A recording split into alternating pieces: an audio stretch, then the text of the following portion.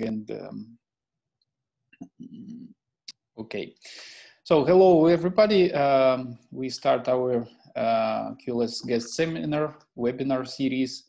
Um, I present to you Adrian Jacobo from uh, the Rockefeller University. Uh, I believe also Howard Hughes uh, Medical Institute is involved in this uh, project that uh, Adrian develops. Uh, today, Adrian will tell us about symmetry breaking during morphogenesis of a mechanosensory organ. Uh, this talk may slightly overlap with the previous speaker, uh, Anna Erzberger, but I think uh, that the topic is very rich and uh, Adrian would tell us about very different things from what we heard in Anna's talk. All right, Adrian, I invite you to proceed uh, okay. with your Thank you, Roman. Uh, thank you for the invitation, uh, and thank you everyone for being here um, virtually. Um, so yes, uh, there will be some overlap with what Anna told you, but um, uh, yeah, I'll try to. Um, so we we try to agree with Anna so that there's no uh, so much overlap, and uh, hopefully you can learn a few uh, new things. Um, so as you probably know, like at least some of you from um, uh, talking with Roman, we in the lab study um, mechanosensory epithelia, so the, the um, essentially the tissue that enables our senses of hearing and balance. And what I'm interested in, and I've always been interested in, is in, in pattern formation. And one of the reasons that I uh, joined this lab is because these mechanosensory epithelia are one of the most striking examples of patterns in nature um, and of self-organization. And what you're seeing here, this picture is um, the um, uh, a picture of the apical surface. So it's the top of what is called the bullfrog sacculus. So this is a, an organ from a frog that uh, the frogs use to sense vibrations on, on the ground. And, and that way they can detect approaching predators, essentially. Um, so they, they sort of lay on the ground uh, with their, what is would be the equivalent of their ears uh, touching the ground, and then these organs pick up vibrations and they transmit these vibrations, uh, they transduce them into electrical impulses that are related to the brain. And they do this thanks to this structure, which is called the hair bundle. And I'm going to talk a little bit more about how um, that is done. But what I want to, uh, to focus on um, in this picture is how remarkable these structures are. So in this organ, first of all, so you have structures that are at multiple scales, so at the cellular scale, you have this structure called the hair bundle. So these are sort of very well reproducible from cell to cell and from animal to animal. And they're formed by these uh, sort of finger-like protrusions called stereocilia. Uh, and the variations in uh, length and number of stereocilia in uh, from cell to cell are controlled within like 5 to 10%. Um, so this is a very well controlled process in which cells can form these structures and these patterns, and I'm going to talk a little bit more about the patterns um, in a second, um, with a lot of reproducibility in this environment that is very dominated by noise. So the cells, um, uh, the, the, the production of, of uh, proteins inside the cell is a stochastic process, it's very noisy. Um, there's uh, thermal noise, there's noise associated to the copy number of these proteins, but nevertheless, they're able to create these remarkable structures that are that are sort of hundreds of nanometers in size, and they're uh, in some sense they're better than anything we can do with current technology. And the other thing that I want to, uh, the other two things that I want you to focus on is that um, these um, bundles are all oriented in the same direction. So they have this sort of high gradient um, that is always pointing in the same direction. And this is essential for their function because they are sensitive to um, to movements, displacement of the surrounding fluid just in one direction and along one axis. Um, so they they have this. So the organ has this sort of uh, long range polar uh, order where all the cells point in the same direction. And the other thing that I want you to focus on is how the cells are sort of um, spaced regularly, forming these hexagonal patterns. So you see this cell at the center and has six cells um, on the sides, and sort of these forms this uh, uh, quasi hexagonal crystal that is um, that spans the whole organ. Okay, um, So these uh, patterns uh, occur at multiple scales, and these scales are coordinated, okay, with one another. The, um, so in particular, for example, the polarity uh, that is sort of long range has to coordinate inside each of the cells. It has to tell each of the cells which way they need to, to, uh, to point. So let me tell you a little bit more now about. Um, Adrian, I'm sorry. Have you changed your slides or it's always the same? I changed the slide now. Is stuck now? Um, it did not work. Okay, let me. Mm, Can you, yeah, re- re- restart Oh, your presentation? the, the second slide. So you- you're seeing the second slide now? No, Hearing see balance and mechanical. Transduction. Yes. So now, Yes, now yeah. I so see. this is the second slide. Yeah, now it works. Okay. Um, so, um, as I was saying before, uh, these tissues and, and the organs that they um, that they form uh, are used for um, hearing balance and, mechan- and, and hearing and balance. Okay. So this the the this organ um, that I showed you before is uh, shares a lot of similarities with the tissues in our inner ear. Uh, and in particular, what they share is that they're formed by the same type of cells. So these hair cells are also present in our inner ears, and they allow us to, so they allow you to hear what I'm saying now, and they also allow your semicircular canals, so these three uh, small organs here, to sense rotations of your head. Uh, so these are like uh, uh, essentially like gyroscopes, and they sense the uh, like accelerometers, sorry, and they sense the rotations of your head like your phone does. Uh, and then there's the vestibular organs that sense uh, linear accelerations of the head. So if you are, for example, in an elevator with your eyes closed, you know that the elevator is uh, going up or down um, uh, just because the this the the, um, the vestibule gets activated and senses these linear accelerations. Or like if you're in a car or in a bus, uh, you sense the accelerations thanks to the utricle. And they do this again, as I was saying, because um, these organs contain these hair cells. So this is a schematic of the um, of uh, one of the cells that I showed in the previous slide. So this is a hair bundle, which corresponds to this green structure here. This sits on top of the whole cell that you don't see here because uh, it's covered sort of by the epithelium doesn't let you uh, see what's um, below. And then um, if we zoom in into the hair bundle, uh, we see that it's formed by these uh, actin protrusions called stereocilia, and these actin protrusions are connected to each other by these chains of proteins called tip links that are sort of like uh, springs, and these chains of proteins connect to um, uh, ion channels, and these ion channels open when the tip links are put into tension. So when there's shear motion by, so there's deflection uh, created in the surrounding fluid, and this shear is created by, let's say, movement of the head or by sounds, uh, then uh, these uh, tip links, these chains of proteins are put into tension, the um, channels open, and then ions enter into the cell, the cell depolarizes and then relays through the, um, um, uh, uh, the so the neuronal connections relay this information to the brain. So this is the way that these cells transduce um, uh, uh, mechanical uh, movements into electrical signals.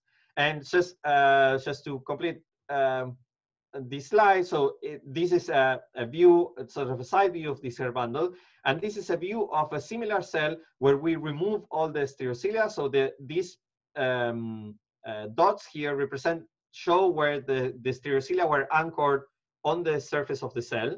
And what you see is that they also form this hexagonal arrangement that is very precise. So the distances, the variation in distance between um, between two of these uh, locations is uh, within uh, one and these are like these are like 10 nanometers apart. So this is very very well controlled up to a nanometer in distance.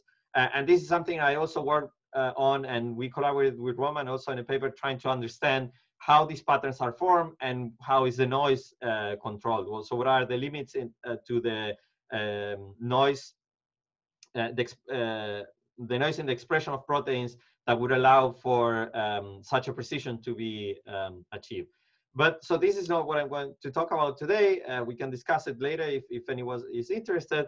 Um, so uh, just to make the, the point further, there's these patterns are multiple levels. So you have the pattern at the subcellular scale that forms this hexagonal arrangement of the stereocilia and also this staircase uh, that is also very well controlled. And then sort of at the cellular level, you have what I was uh, talking about before. So you have this long range um, order of cells that point in one direction or the opposite. And this makes the cells sensitive. For example, in this case, this is a, a human vestibule. So this is, um, um, it's a mouse vestibule. So this, sorry, is um, these cells are sensitive to movements of the head towards sort of uh, the, to for, uh, backward movements of the head, and these cells are uh, sensitive to forward movements of the head. Okay, and and so this is another example, which is the organ I'm going to talk about today. Um, this is in a in a fish, and you can also see how sort of this green, this black dot. So sorry, this is the other thing I, I need to explain. So this black dot uh, shows the position of this. So the tall end of the um, of the hair bundle, and this um, shows what is the, the um, direction of sensitivity, okay? So these black dots makes these cells sensitive from the left of your screen towards the right, and these, in this case, uh, these cells are sensitive in this direction, these cells are sensitive in the opposite direction, um, and so on. And this is an organ that I'm going to talk about more. It's an organ in the fish that I'm going to talk about uh, more in detail. Um, and uh, the fish use this organ in a very similar way to detect um, uh, flow of water. Okay, and I'm going to tell you more in detail how it's done. But then let me move also to the tissue level. So this is the other thing I was mentioning before, that like if you look at the whole tissue, and this is a utricle in a mouse, so this is again an organ that the mouse used to detect linear accelerations of the head. The cells in red, which are the hair cells, are sort of in a, this pepper spray pattern, and they're always uh, surrounded by these other these green cells around them, which are um, the supporting cells, the so-called supporting cells. And this is also uh, reproduced in our in the cochlea. This is a mouse cochlea again, but it's very similar to a human one, where you can see the cells sitting in this hexagonal pattern, and they're surrounded by these sort of black unlabeled cells that are the supporting cells. Um, and this is always um, the case in this mechanosensory epithelia. So it's always you get these um, arrangements in which um, you get you never get two hair cells in contact with each other. They're always separated by a um, um, support cell. This is something also I, I worked on. Uh, I'm working on trying to understand how you get this uh, how you get this arrangement. But now let me focus on uh, the story I want to tell you today, which is um, this organization um, of this polarity reversal in the in the zebrafish. So again, so this is a uh, schematic of a two-day, three-day-old zebrafish. And these green dots form what is called the lateral line, which is formed by these organs called neuromasts that the fish use to detect water current. So these organs are right underneath the skin. So this is um, uh, sort of these uh, uh, pinkish uh, cells are the skin layer. And they have this very long kinocilia, so these, uh, which are represented by these black dots, that stick out the, um, uh, the skin of the fish and act as antennas, okay? So these peak vibrations, the vibrations get transmitted to the hair bundles, which are these uh, green structures here. And then the hair, bundle, uh, hair bundles get uh, deflected. And this is how the fish knows which direction the surrounding fluid is moving, okay? And they can use these organs to detect many things. So one is proprioception, so they can detect uh, the direction and the speed at which they're swimming. Uh, and they can also detect uh, predators and prey in the surrounding water. Okay, they can detect vortices in the surrounding water. They can detect flow if there's a predator trying to suck them in and eat them, uh, and and so on. And they do this because uh, this organ has two varieties of hair cells. So there's one uh, half that is pointing towards that is sensitive of, to movement towards the tail of the fish, these cells here, and there's the other half cells that are uh, sensitive to movements towards the head of the fish these cells um, here okay? And so this is an this is a schematic and this is sort of a, a real picture of uh, some of these cells uh, where you see three of them pointing towards the tail three of them pointing towards the head. And so the, the thing that we want to understand is how is this arrangement achieved okay? So this is a sort of a reduced version of what i told you before with this long range order. So in the in the neuromast, there's not that many cells, so the order is sort of local. And you get this sort of line that divides the cells pointing in one direction and the other. And we want to understand how this comes to be, okay? And this organ is very robust, so you can kill all the cells and it will generate the same arrangement of cells over and over again. And you can kill a few cells and the new cells will always be um, sort of uh, having this ratio of 50-50 and the cells, um, the new cells uh, facing each other.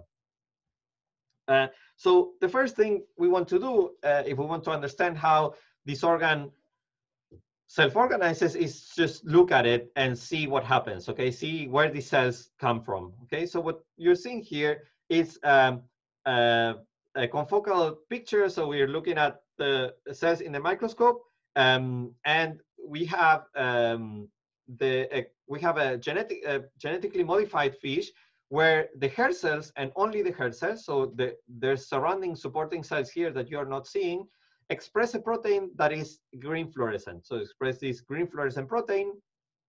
Um, and we're looking at a focal plane so, uh, that is sort of cutting uh, in the middle of the of the um, of the neuromast. So what you're seeing is sort of the nuclei of the cells and these very bright cells. And what you're going to see now when I play the movie is that there is a stem-like cell here that makes a decision that it wants to become uh, hair cell. So it starts upregulating these uh, green fluorescent proteins. So when uh, it makes a decision, so all the um, uh, genetic uh, regulatory network that creates a hair cell gets activated, and this activates this gene that produces a green fluorescent protein. So it's becoming green there. And now you see that the cell went on and divided. So now there's two cells. There's one there and one there, and you see sort of the division between the two cells. I hope you can see the video um, clearly. And then these cells go on and do these rearrangements. That is, this is what uh, Anna, I think Anna told you about um, uh, in her in her seminar. Yes, yes. so you're gonna see uh, the cells sort of move and rearrange, and then they go their separate ways. And now what they're gonna do is they're gonna form this structure at the top, the hair bundle. So now we're gonna move the focal plane up um, so that we can see this happening. And you're gonna see the hair bundles of all the other cells that are already mature. And then you're gonna see the hair bundles of these uh, newly formed cells sort of starting to form. They becoming, you see now they're becoming sort of more prominent uh, because they're uh, collecting more of this green fluorescent protein. And initially they're unpolarized, but then they sort of, they break the symmetry and they form this polarized structure. And what you see is that these two bundles are facing each other, okay? So this whole process of division, uh, starting from stem cell, creates two cells which are oppositely polarized, okay? So the question now becomes, how do they coordinate these? So how does one cell know that it has to point towards the tail of the fish and the other cell know, okay, my sister is pointing towards the tail, so now I'm gonna point towards the head, okay? So, and this is um, what I'm going to talk about uh, for the rest of the talk. Uh, but first, let me tell you a little bit more about how the cells know essentially head from tail. Um, what is known is that they express a set of proteins, one of which uh, is this, set, this protein called Vangl2, and these proteins form um, part of what is called the, the planar cell polarity pathway. So there's a bunch of cells that get polarized on the surface of the, of the cell in either one side or the other. Um, and these, um, in this case, for example, Vangl2 is always polarized on the side that faces, so the posterior end, so the, the tail of the fish, okay? So this is how the cells know, have this global order that says, okay, okay, the tail is one side, the head is the other side, okay? But all the cells have the same pattern of expression of these proteins, okay? So this is not what makes a decision if they're gonna point away from this pattern of expression or in the same direction, okay? And it's uh, been shown recently that there is um, another protein called EMX2, which is a transcription factor. And with this protein is expressed, it's known that the cells face, so the, the bundle, the hair, the, the hair bundle or the, the kinocilium of the cells faces the same direction as Vangl2. And when it's not expressed, it faces the opposite direction, okay? And we know, so the cells come in equal numbers of what I, am going to call them from now on caudal, the ones that point towards the tail, and rostral, the ones that point towards the, the head. So there's equal numbers of caudal and rostral cells. The caudal cells always express EMX2, the rostral cells don't express EMX2, okay? And we know that this is sort of a master switch because um, if we overexpress, so if we flood all the cells with EMX2, so we create a transgenic fish where all the cells express EMX2, then all of them point in the caudal direction, all of them point towards the tail. And if we mutate the gene so that the protein is no longer present, uh, all of them point towards the head of the fish, okay? Uh, so this seems to be a necessary condition. So the presence of EMX2 seems to be a necessary condition for the cells to be caudal. And when it's not present, the cells are rostral polarized. But this doesn't tell us much. So this only changes the question from a morphology question of the cell, so which way the cells are pointing, to a genetic question, essentially. When do they express EMX2 or not? But it doesn't tell us how these cells coordinate with each other. And to understand how this happens, we need to look at what is called the notch signaling pathway. Okay, so this path, this pathway is a, a set of proteins that the cells use to talk to each other.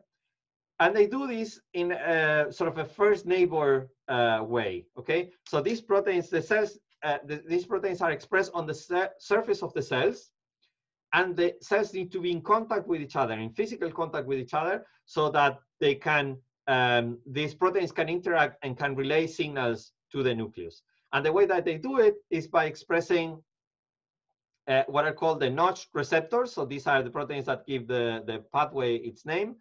Um, and delta, the, the corresponding ligands called delta. So when delta of one cell meets notch of a, a neighboring cell, there's a um, there's a conformational change in the protein that makes that the, the internal part of notch, so there's a part of notch that is inside the cell, this part of notch gets uh, cut, so gets cleaved um, by, a, by an enzyme, and this part called the notch intracellular domain, or NICD for short, can then migrate to the nucleus where it can activate or repress the production of many genes. And in particular, it activates its own production. So the when you get NICD, you activate the production of notch, and it uh, and it inhibits the production of delta. Okay, so having a lot of notch makes the cell produce less delta okay? And this has consequences um, by, uh, for the way in which the cells uh, communicate with each other that I'm going to tell you about in a, in, in a second, okay? If they, they're not very obvious now, they, they'll become obvious when I show you um, equations. But first, let me um, tell you sort of a, a little bit uh, about how this uh, story started. So we realized that this um, pathway was involved in the setting of the polarity of the cells because we could use a, a chemical inhibitor called DAPT that what it does is that it prevents the, uh, it blocks the enzyme that cuts notch and sends the signal to the nucleus. So when you do this, the enzyme is blocked. So um, notch and delta meet, but there's no release of the notch intracellular domain to the nucleus. So the communication is essentially cut. The cells are, are uh, essentially uh, interacting with each other, but there's no signal sent to the to the nucleus. And because there's no signal sent to the nucleus, there's no activation or inhibition of anything. So nothing can happen in the in the cell. Um, well, it, what sorry, what can happen is that um, the notch intracellular domain um, gets depleted, so you don't produce anymore because you're not um, cutting it, and then um, you produce uh, then the cell becomes low notch and produces a lot of delta. Okay, so that's essentially the, the idea of what would happen. Uh, and therefore, these cells that presumably will have low levels of notch intracellular domain, because nothing is being cleaved now, nothing is being cut and sent to the nucleus. If you treat the, the, um, uh, the fish with this chemical inhibitor, what you see is that these cells now have a bias towards the rostral side. You get more of these cells that have a rostral uh, direction than cells of the caudal direction, okay? So the idea here is, okay, you block the communication, you block the production of the notch intracellular domain, you get one polarity, okay? So now our rationale was, okay, what if we make a lot more of this notch intracellular domain. We should see the opposite, okay? The idea is low notch intracellular domain gives you one direction, high notch intracellular domain gives you the opposite direction. Uh, so what we did is we created um, a line of fish, a transgenic line of fish. So you don't need to understand the details of this, but what this says essentially is that the hair cells and only the hair cells produce a lot of this notch intracellular domain that is tagged with a protein that then we can go and find, okay? Um, uh, this protein is called MYC. Um, so essentially what you do is, is just turn a switch that turns on the production of, of NICD and the cell doesn't care about what notch is doing or what delta is doing or what anything else is doing. It's just stuck in this state in which it produces a lot of NICD, okay? And then we can go and look for this NICD by looking for this protein MYC, uh, which is plotted here in, um, in cyan. So you see all these cells that express um, this extra NICD. And when you count the polarity of the cells that produce NICD, you see that unexpectedly, so against what our intuition was telling us, these cells are also rostral polarized, and they're even more rostral polarized than in the case of um, the, the DAPT uh, treatment, okay? So the, the idea here is, okay, we block the communication between the cells, we block the production of NICD, and the cells are rostral polarized. And now we flood the cells with NICD, and they're also rostral polarized, and even more. So this was very confusing. We didn't understand what was happening. And this is um, sort of when I decided, okay, we need some modeling because it's clear that in this uh, system, which is a nonlinear feedback between the two cells, there might be things that are not so intuitive that are happening and we're just not seeing because we're thinking in these sort of simplified linear terms about our system. So I went and looked for uh, in the literature, and the notch signaling pathway is a, a pathway that is relatively um, so considering uh, the state of the art for most of most of the signaling pathways uh, is um, where it, uh, it's being modeled in quite uh, a lot of detail. So I looked for um, some some models of signaling, and I adapted them for this situation in which you have these two cells interacting with each other. Okay, so what these equations tells uh, um, tell you is you have equations for uh, the concentration of notch, of delta, and the notch intracellular domain for cell one and cell two. And then you have this term uh, here, the shaded, uh, the term shaded in blue represents the production of notch uh, by the um, binding of notch intracellular domain. Okay, so not the notch intracellular domain activates the production of notch and inhibits the production of delta. Okay, then we have this term that is called um, cis uh, inhibition of notch and delta, and is represented by this picture here. So it can happen that notch of one cell binds to delta of the same cell, but it's known that when this happens, both proteins get degraded, but there's no production of notch intracellular domain, okay? So this is just a lost term. So the um, you just lose a molecule of notch and a molecule of delta, and you don't gain anything here for the notch intracellular domain. And then you have this term, which is the transactivation. It's called transactivation. So notch of one, of one cell binds to delta of the opposite cell, and this now creates a molecule of the notch intracellular domain. And then we assume that these molecules can all uh, degrade at a sort of a constant rate, okay?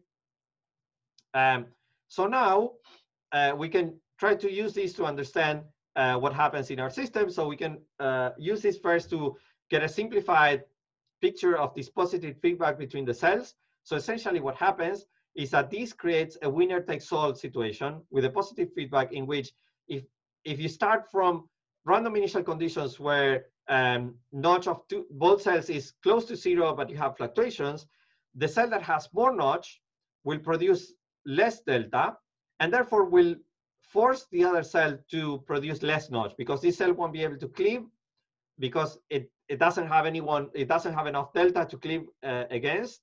So because it can cleave, it doesn't it doesn't release notch intracellular domain, so it can produce notch, and it produces more delta. And because it produces more delta, then this cell can cleave more of its notch and sort of repeat the, the, the cycle, okay? So this is a winner takes all situation in which the cell that because of the random fluctuations, has a little bit more notch initially, it will suppress the other cell and it will win the competition. So this is what you see here, and these time traces of a simulation of the, the equations that I showed you before. So the cells start with uh, very minimal amounts of notch, and then in this case, the blue cell, the cell number one, wins and goes to steady state and suppresses the production of notch in cell number two, while at the same time activating the production of delta in cell number two. And this sort of this um, leads to the release of a lot of notch intracellular domain in cell one and none in cell two. Okay, uh, so uh, so essentially, yeah, what you have is that the cells can, in this way, um, you get a bistable steady state in which fluctuations will take you to a situation where cell one or cell two are high notch, um, and so and vice versa. Uh, and these sort of polarizes the cells spontaneously in in these two in these two states. And you can probably you can already see how this can be used for the cells to make polarity decisions in a robust way. Okay, so now if you have the level of NICD for cell one and cell two at the steady state, then the cells have an activation threshold if you're above the activation threshold, then you get one polarity.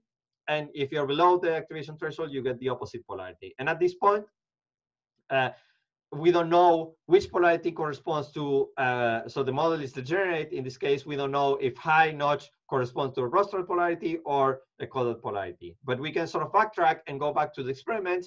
And we know, um, so we can look at what happens when we overexpress the notch intracellular domain. So in this case, this um, is equivalent in our equations to add a, a source term to the production of um, the notch intracellular domain. Um, so we add a constant term to the equations, and we can sort of uh, look at the bifurcation diagram for what happens if we increase the rate of production. So what you see is obviously that the amount of notch intracellular domain increases for both cells.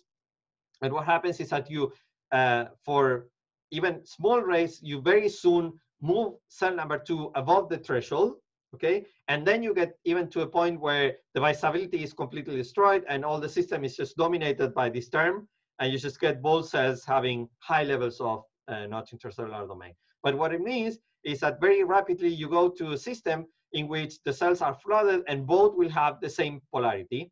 And we know from the experiments that the cells that overexpress uh, the notch intracellular domain are mostly rostral polarized okay? Uh, so this would mean that a high amount of notch intracellular domain means a rostral polarity, okay?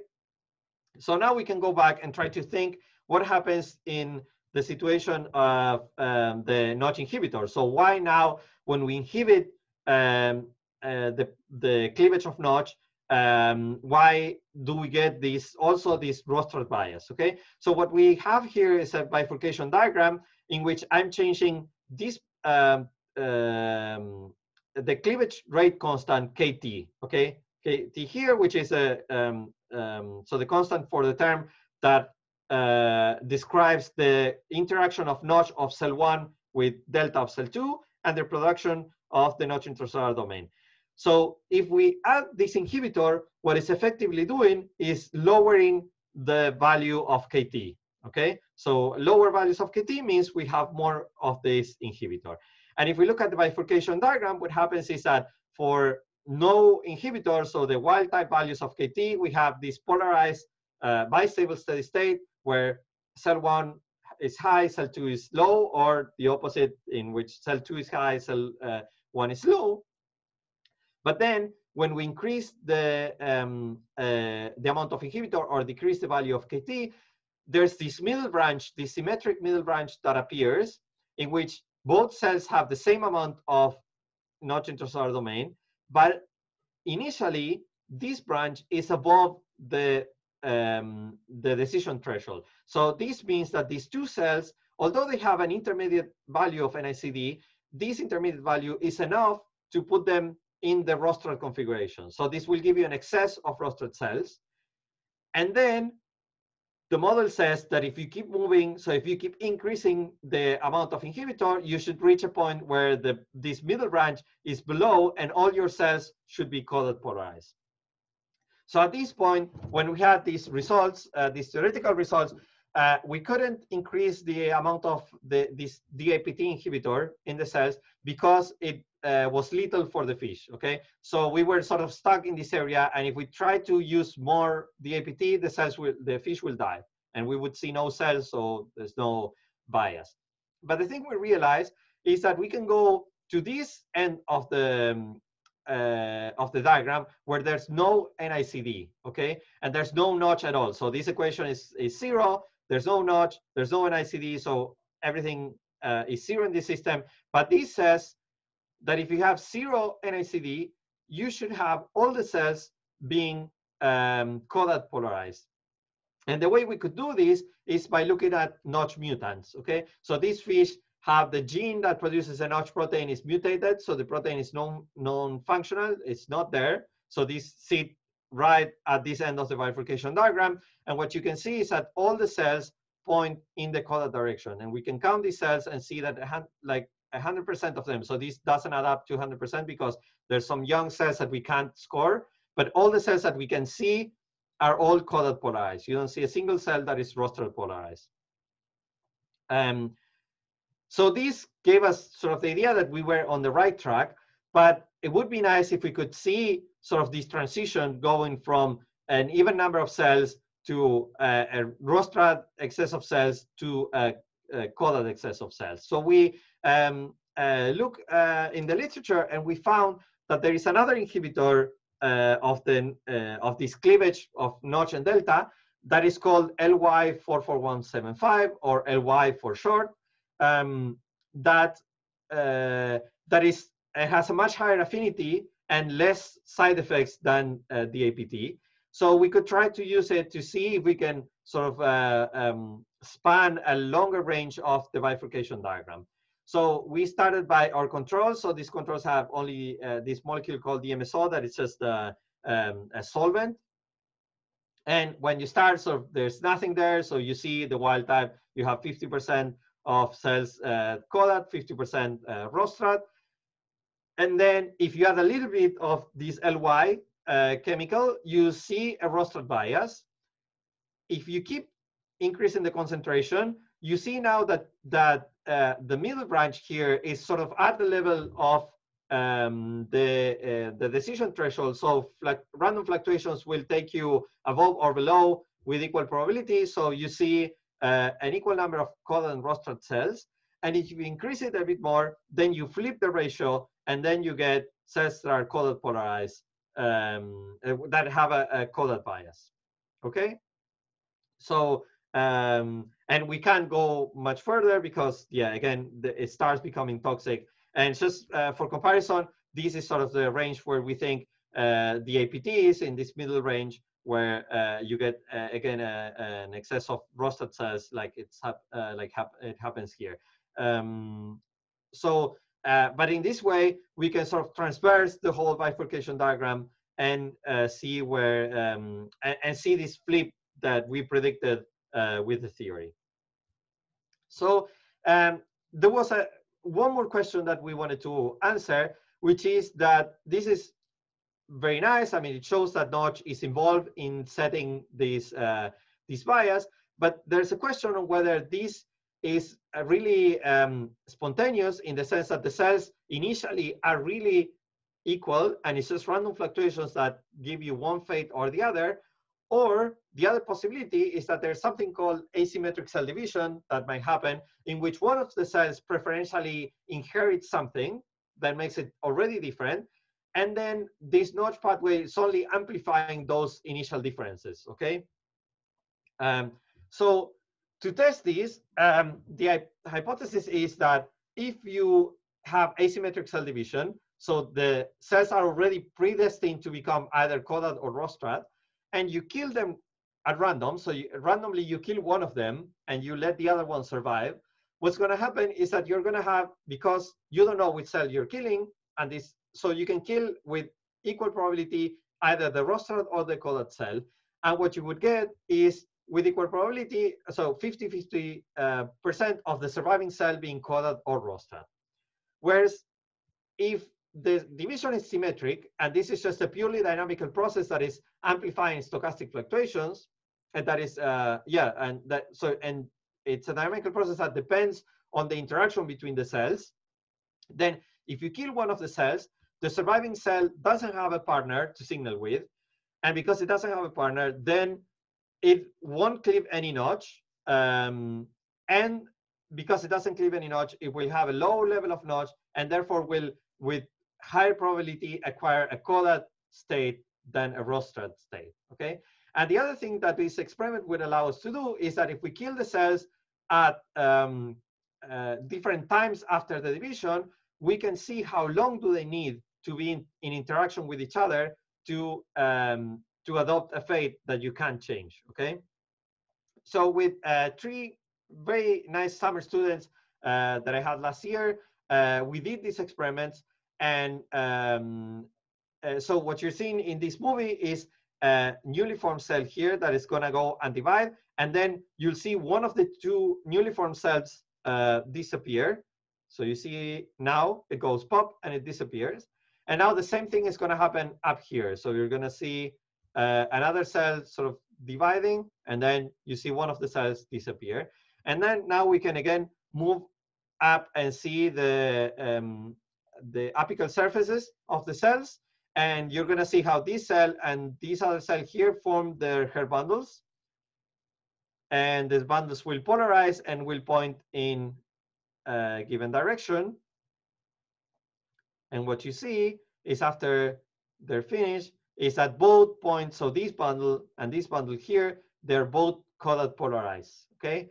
And these, we can do this systematically, repeat the, the experiment many, many times. And this again is a, a great work from uh, um, the, uh, my summer students, Ashley, um, Isabel, and, uh, and Isabella. Um, and you can see sort of that depending on how long do you wait uh, to kill the cell, initially you get all the cells pointing in the caudad direction, and then you start getting more and more that point in the rostral direction, meaning uh, so we can sort of count how many. So if you kill them within the first half an hour, 100% of them are going to be caudad polarized. And then if you wait a little bit more, you go to a situation in which the decision has already been made, and now you have equal probability of killing a cell that is either rostral or caudad. So this uh, probability goes down to 50%, okay? Which is sort of the, uh, as I explained before, is a situation in which the decision has already been made and you don't know which cell you're killing, so you kill them with equal probability. So in this way, what we show is that it takes sort of about half an hour to an hour for the cells to make this decision. Um, and if you kill the cells before that, the system always de uh, defaults to this sort of low notch state because you don't have a partner to signal with. So they go to this low notch state in which uh, they become uh, caudad polarized. So um, let me go back now sort of to the beginning of the talk, I mentioned that there's this uh, transcription factor called EMX2 that is responsible for um, uh, the, the polarity of the cells. So what we see is that the, the notch intracellular domain inhibits the production of EMX2. So in the cells that you have high notch, you have low EMX2. Um, and therefore, this is what produces this uh, bias. And in the cells that have no notch, no notch intracellular domain, you have a lot of EMX2, which produces the caudad bias, okay? So this can, uh, and we know also that uh, if we look at the expression of delta, uh, we know that delta is expressed earlier in the cells than EMX2. So it seems like notch comes first, uh, and then it makes this um, uh, positive feedback between the two cells, it polarizes into a high notch state or low notch state, and then this directs EMX2 to be either high or low in um, the cells.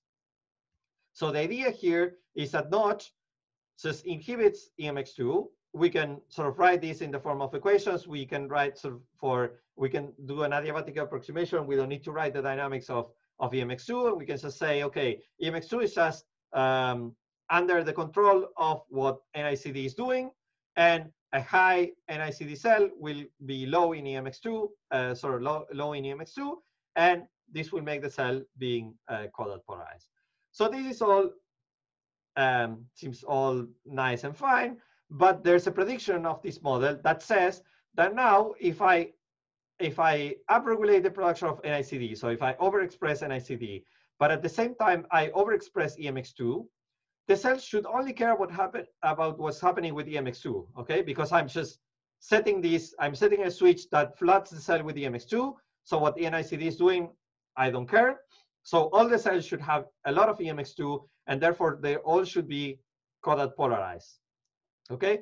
So because we want to make our lives, lives uh, hard, we went and did this experiment, and we overexpressed NICD and EMX2 in both cells, and the expectation here was, okay, EMX2 is going to dominate.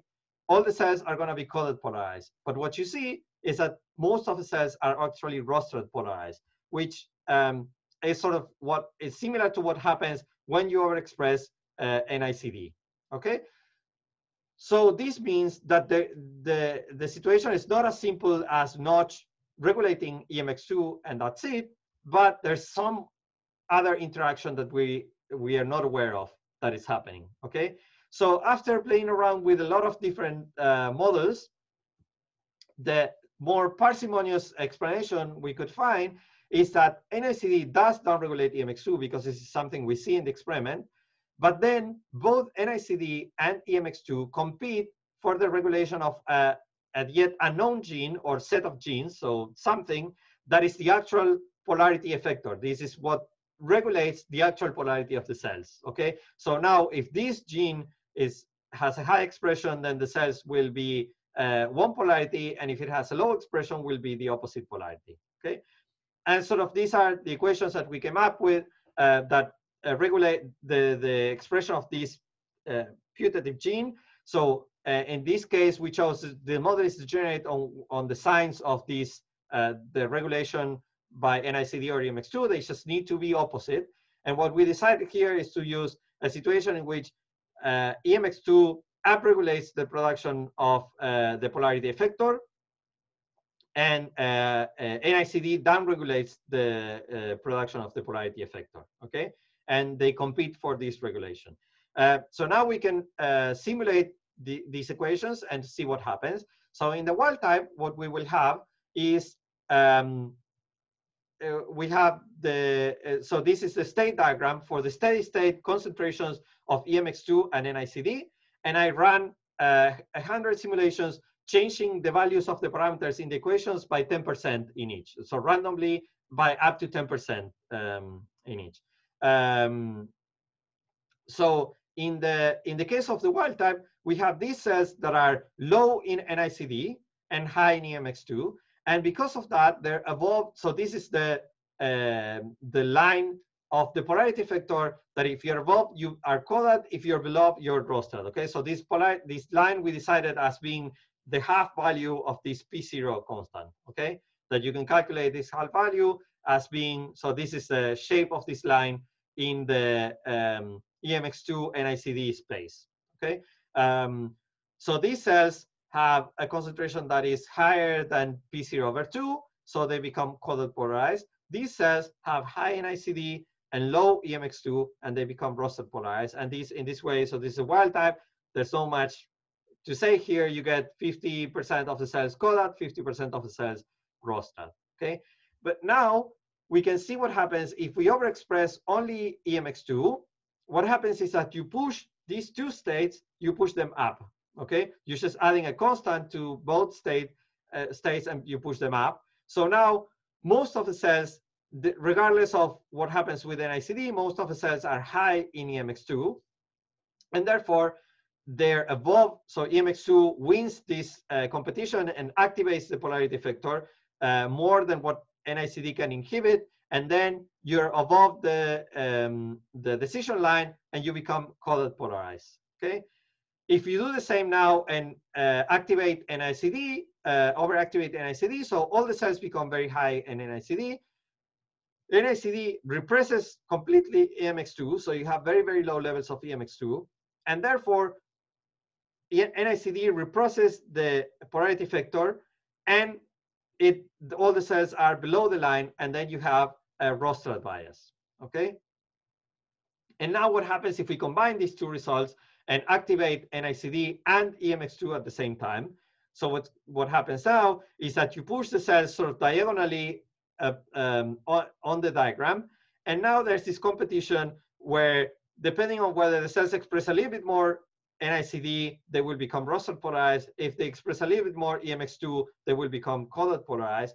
But there's this double inhibition of NICD to the polarity factor, okay? So NICD can inhibit the polarity factor directly, um, or it can inhibit the polarity factor production by inhibiting EMX2 and preventing it from activating the polarity factor. So more often than not, NICD wins and the cells have a tendency to be Rostral polarized instead of caudal polarized, okay?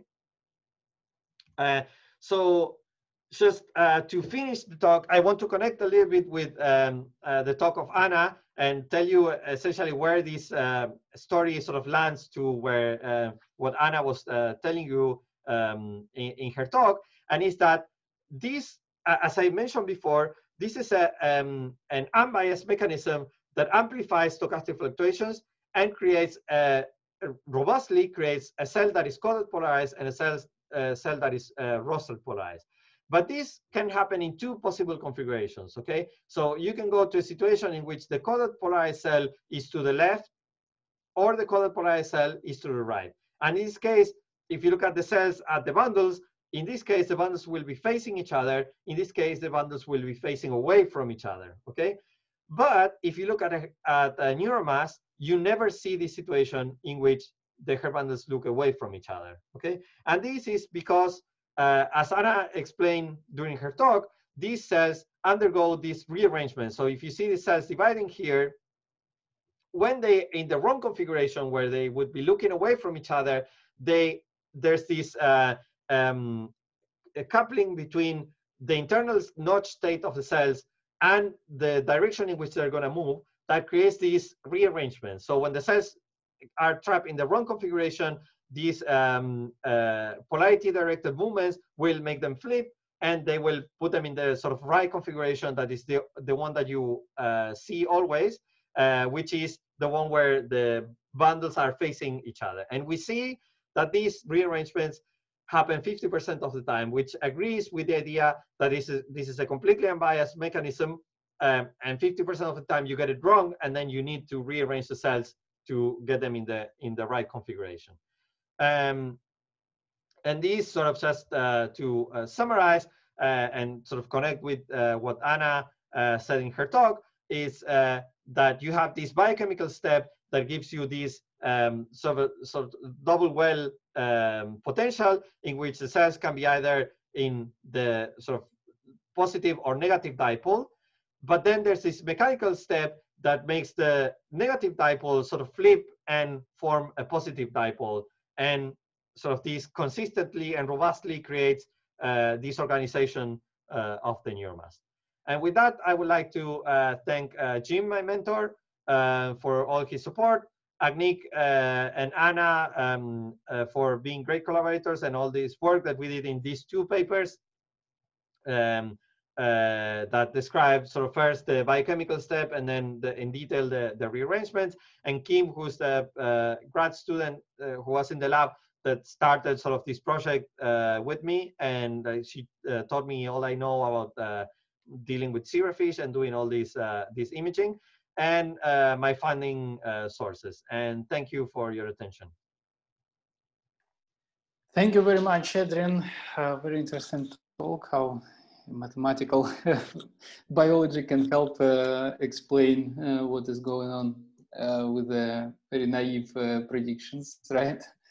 Um, I invite uh, the audience to ask questions. Uh, please, um, you can directly connect uh, to the audio and to unmute your microphone and uh, ask question uh, directly. You can also uh, ask in the chat if you have any issues with your microphones. And okay, while someone comes up with an idea, uh, I will have a, a question. Okay, um, you so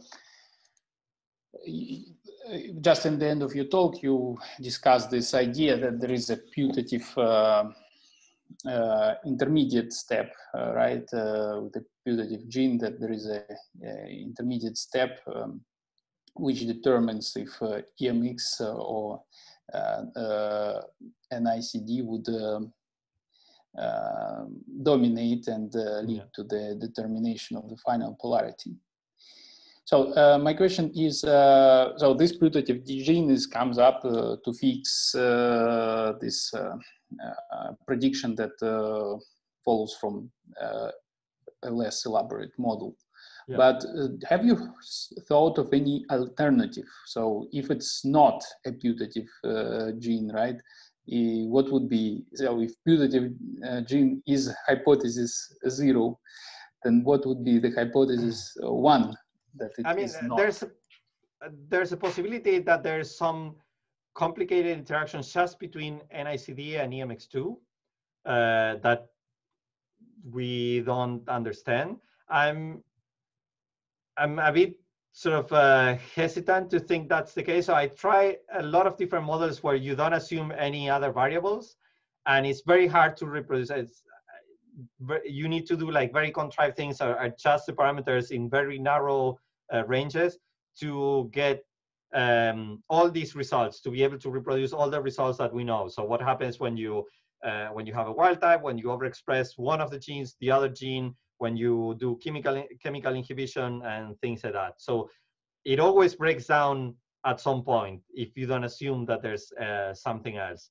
Um, Oh, but what you're saying there is in this uh, fa- uh, in the mm, diagram of the uh, parameter space, uh, there are uh, ranges of parameters that would uh, reproduce your original uh, prediction. The, yes, yeah. So if you assume like some interactions between E EMX2 and NICD, you can find some terms uh, in the equations and like some ranges of parameters where you can see it, but they're not very robust. So, so the problem is that they will work for like finely tuned parameters, but when you try to do something like what I'm doing here, which is like you just do a robustness analysis and just just vary the um, the uh, the parameters by let's say 10% or or something like that uh, you allow them to vary and just do random simulations uh, with the parameters um, you is you can't reproduce all the um, the proportions of cells that you see yeah I see. Yeah. All right. And uh, well, uh, and so suppose the, uh, so the, the, the- that alternative model wo- would in, uh, introduce some new uh, interactions between NICD or NDMX2. But what uh, uh, other ideas? Other any other ideas except these two? Just in case you thought of anything. Uh, no, I don't think so. I mean, that's I would say the most obvious is either there's some interaction between the genes themselves that Mhm. form the the sort of the the regulation, the regulatory motif, or there's Okay. some extra genes that we that we don't know. Yeah, that would be sort of the more parsimonious explanations I can I can think of. Yeah. Okay. Um, Thank you. Uh, let me then uh, uh, ask a question from the audience. So Luciana Bruno asks, uh, so she tells that uh, it was a very nice talk. Uh, thank you. Uh, so the question, does the lateral inhibition occurs between pairs of cells or it can be involved uh, more than, it, or it can involve more than two neighboring cells?